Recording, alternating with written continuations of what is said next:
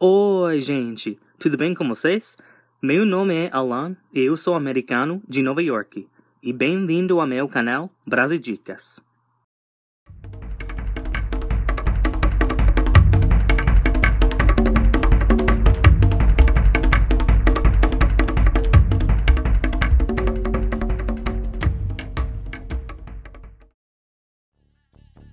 Nesse vídeo eu vou falar sobre as preposições in, on e at.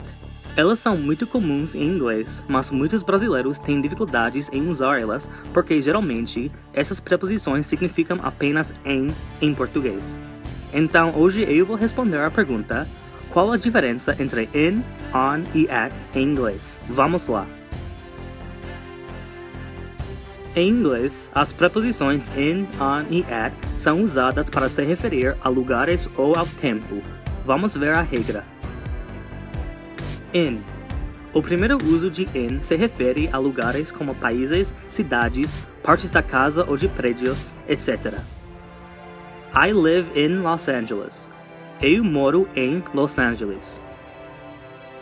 Egypt is a country in Africa. O Egito é um país na África. We are watching a movie in the living room. Estamos assistindo um filme na sala. Let's go camping in the woods. Vamos acampar na floresta. O segundo uso de in se refere a períodos de tempo como um mês, um ano ou uma parte do dia. My birthday is in May. O meu aniversário é em maio. I like to work out in the morning. Eu gosto de fazer exercícios pela manhã.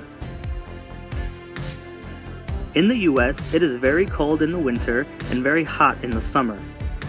Nos Estados Unidos, é muito frio no inverno e muito quente no verão. I was born in 1990. Eu nasci em 1990.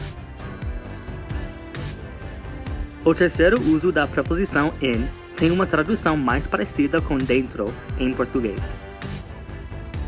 The keys are in the car. As chaves estão no carro. I put the magazine in your room. Eu coloquei a revista no seu quarto.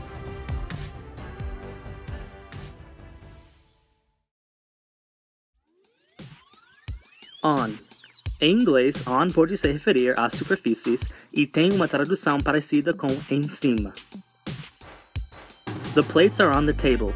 Os pratos estão na mesa. There are snipers and other types of defense on the White House. Tem atiradores de tocaia e outros tipos de defenso em cima da Casa Branca. O segundo uso de on se refere aos dias e datas específicas. Barack Obama was inaugurated as the first black president of the United States on January 20, 2009. Barack Obama foi empossado como o primeiro presidente negro dos Estados Unidos em 20 de janeiro de 2009. There's a holiday on Friday. Tem um feriado na sexta-feira. O terceiro uso de on se refere aos meios eletrônicos. Be quiet, I'm on the phone. Fica quieto, estou ao telefone. There are many free resources on the internet to help you learn English. Tem muitos recursos gratuitos na internet para te ajudar a aprender inglês. Have you seen the TV show The Hundred? It's on Netflix. Você já assistiu a série The Hundred? Está na Netflix. You are watching this video on YouTube. Você está assistindo esse vídeo no YouTube.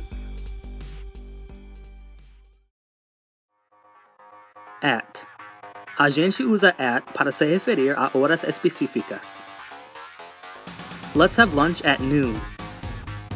Vamos almoçar ao meio-dia. The movie starts at 7:30. O filme começa às 7h30. Com lugares, a gente usa at para locais específicos. I'll meet you at the mall after work. Vou te encontrar no shopping depois do trabalho. The party is going to be at the new nightclub. A festa vai ser na nova balada.